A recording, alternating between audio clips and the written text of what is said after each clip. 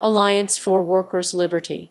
The Alliance for Workers' Liberty AWL, also known as Workers' Liberty, is a Trotskyist group in Britain and Australia, which has been identified with the theorist Sean Matgamna throughout its history.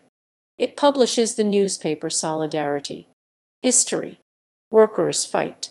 The AWL traces its origins to the document What We Are and What We Must Become, written by the Tendency's founder Sean Matgamna in 1966, in which he argued that the Revolutionary Socialist League, by then effectively the militant tendency, was too inward-looking and needed to become more activist in its orientation.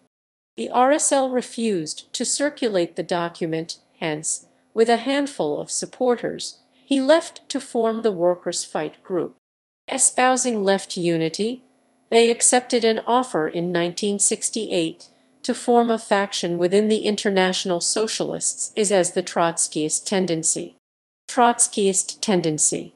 The Trotskyist tendency clashed with the leadership of the International Socialists over many issues, for example, UK membership of the European Communities, on which the IS leadership itself was divided, and the use of the troops out slogan regarding Northern Ireland. In December 1971, the leadership of the International Socialists called a special conference to defuse the TT. The TT described the diffusion as an expulsion given that they did not wish to leave. International Communist League. Outside the IS increased in size, the group resumed publication of Workers' Fight, now as a printed paper, not, as was previously the case, as a duplicated journal, began publication of a theoretical journal entitled Permanent Revolution and made efforts to publish a small number of workplace-oriented publications in specific industries. At the end of 1975, it fused with the smaller Workers' Power Group formerly the left faction within the IS, to form the International Communist League. A small group of members in Bolton and Wigan opposed to the merger formed the Marxist Worker Group, which later fused with the International Marxist Group. Workers' Fight was renamed Workers' Action and went over to a weekly publication schedule, and the group's quarterly magazine was now entitled International Communist. It joined with other groups that considered themselves to the left of the USFI in the necessary international initiative. In 1976, two-thirds of the ex-workers' power group's members left in a dispute over Labour Party work and resumed a separate existence. The ICL increased its activity within the Labour Party and in 1978 helped set up the Socialist Campaign for a Labour Victory. This campaign proved relatively popular and initially involved a range of figures on the left of the Labour Party who wrote for and supported its newspaper, Socialist Organiser. After a dispute over whether local government rates should be increased to offset cuts made by the Thatcher government, most of the Labour left figures, including Ken Livingstone, withdrew from Socialist Organiser until the ICL was the only force involved in what was now its central publication. Both Workers' Action and International Communist were by 1979 discontinued, reflecting the group's entryism into the Labour Party. Workers' Socialist League. In 1981, the ICL fused with Alan Thornett's Workers' Socialist League, which had now also entered the Labour Party. The new organization, also called the Workers' Socialist League, mostly worked through the Socialist Organiser Alliance. It also produced a theoretical journal, Workers' Socialist Review. In 1984, the groups split apart. The key issue was the Falklands War, most of the former ICL argued of the defeat of both sides, most of the former WSL supported a victory for Argentina.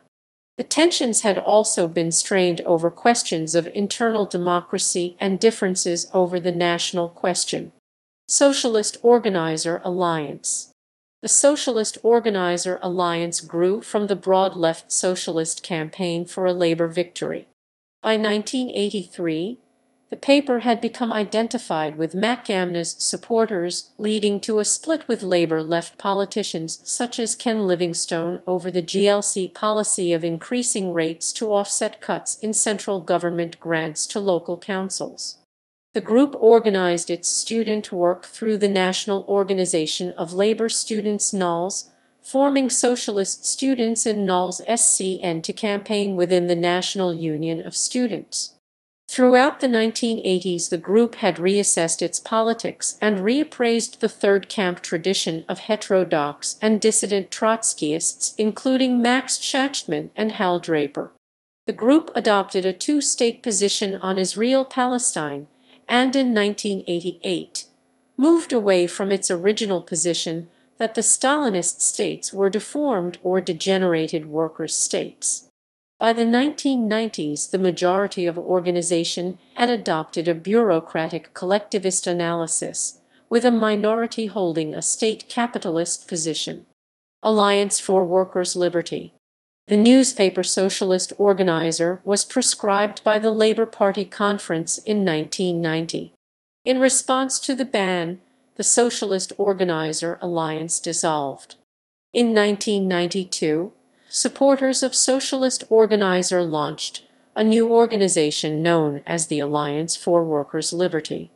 The AWL was involved in left unity initiatives such as the Socialist Alliance, Socialist Alliance Democracy Platform, Socialist Green Unity Coalition, and stood a parliamentary candidate in Camberwell and Peckham, while campaigning for Labour elsewhere. It also maintained a focus on pushing affiliated trade unions to assert themselves against the Labour leadership, and was involved in the establishment of the Labour Representation Committee in 2004. In the late 1980s, it established and led a number of left opposition campaigns in the NUS, including Left Unity and the Campaign for Free Education, and its supporters won seats in the structures of the NUS. Kat Fletcher, president of NUS from 2004 to 2006, was a member of the AWL and the Campaign for Free Education. It played leading roles in the NUS women's and LGBT campaigns, championing its policies on liberation and international solidarity within them, securing their representation within the NUS and working with groups such as Outrage and Al Fatiha. AWL was central to the Education Not for Sale network and in 2010 helped found the national campaign against fees and cuts. AWL has been more critical of political Islam than some other groups on the far left. In 2006, it reproduced the Mohammed cartoons that were originally published in Jyllands Posten on its website, describing it as an issue of free speech. While it opposed the Iraq War, the group was critical of calls for the immediate withdrawal of US and UK forces, arguing that the likely consequence of a precipitate withdrawal would be increased sectarian violence that would snuff out the fledgling independent labor movement. A large minority within the organization, while agreeing with the emphasis on solidarity with Iraqi workers, argued that the group should raise the call for the withdrawal of troops. These and other positions, including its support for a two-state settlement in Israel-Palestine, have led to other far-left groups characterizing the AWL as imperialist and Zionist. In 2009, AWL members were central to sparking and supporting the sit-down strike of Vestas wind turbine factory workers on the Isle of Wight.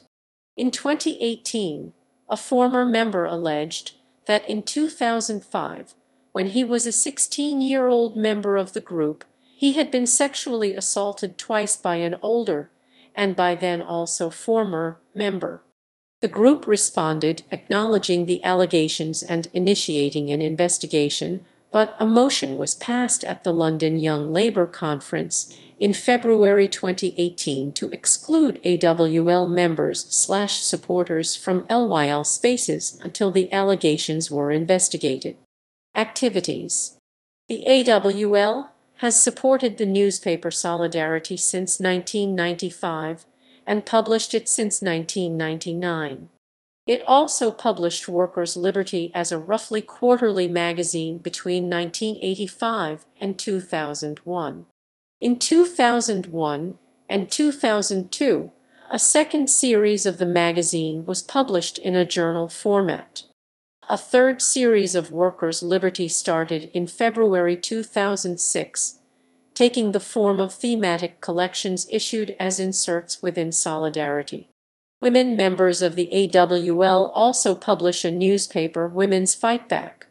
AWL also publishes occasional books and pamphlets, including The Fate of the Russian Revolution, a collection of critical Marxist and Third Camp Trotskyist writings on Soviet Russia, mainly from the Workers' Party slash Independent Socialist League tradition, working class politics and anarchism exploring the commonalities and differences between class struggle anarchist and syndicalist traditions and the AWL own brand of libertarian tinged Trotskyism and Antonio Gramsci, working class. The AWL helped to set up and was active in campaigns such as No Sweat, Feminist Fight Back, Workers' Climate Action, the National Campaign Against Fees and Cuts, and local community campaigns such as the Save Lewisham Hospital campaign and the One Choice, One Dream Alliance in Southampton. In trade union work, AWL members focus on developing workplace and industrial bulletins and rank and file networks such as the Education Solidarity Network in the National Education Union. It produces workplace and industrial bulletins including Tube Worker for London Underground workers and Off the Rails for mainline railway workers. The group has international links with Workers' Liberty Australia and Solidarity in the United States. It has worked with groups on the left of the former Ligue Communiste Revolutionnaire now part of the new Anti-Capitalist Party and collaborated with Iraqi and Iranian groups from the worker communist tradition. It also has links with L'Étincelle, a former fraction of Lutte Ouvrière, the Iranian revolutionary Marxist tendency, and Turkish group Marxist Tutum. The group advocated a no vote in the 2014 Scottish independence referendum. AWL members were also prominent in the Free Shahrokh Zamani and Reza Shahabi campaign, solidarity campaign demanding the release of jailed Iranian trade unionists. It supported Jeremy Corbyn in the 2015 Labour leadership campaign and subsequently applied to the Electoral Commission to be deregistered as a political party, enabling its supporters to join the Labour Party. It campaigned against Brexit in the 2016 United Kingdom European Union membership referendum and called on activists to campaign for Labour in the 2017 general election and again in 2019.